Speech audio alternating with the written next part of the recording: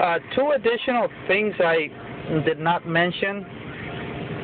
The airbag was deployed at the time of the accident. There's the instrument panel again. And this little switch right here is to turn on the auxiliary fan, the one for the radiator uh, coolant.